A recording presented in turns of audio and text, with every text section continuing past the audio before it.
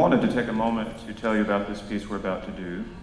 Um, it's written in memory of James Dean, who lived from 1931 to 1955, who experienced the brightest and briefest movie career ever. In just 16 months, he made movies such as East of Eden, Rebel Without a Cause, and Giant.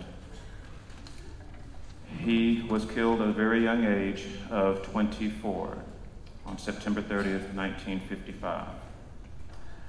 And for many years, uh, he has lived in memory for so many fans. And this piece was composed uh, in honor of his memory, his artistry, his raw talent.